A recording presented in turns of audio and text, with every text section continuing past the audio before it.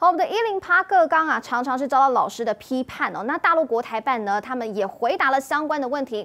发言人陈冰华就被问到说，对于台湾的台独课纲有什么样的评论呢？他就表示说了，台独课纲课纲呢是煽动了两岸的敌意，破坏两岸和平，是不折不扣的独的课纲。民进党当局为谋求台独，大搞去中国化。所推出的教稿政策、呃教改政策和台独课纲，刻意歪曲中国历史，妄图割裂两岸历史连结，不仅剥夺台湾青年学习本民族文化、了解本民族历史的正当权利，也煽动两岸敌意，破坏。两岸和平，为台海形势紧张动荡埋下祸根。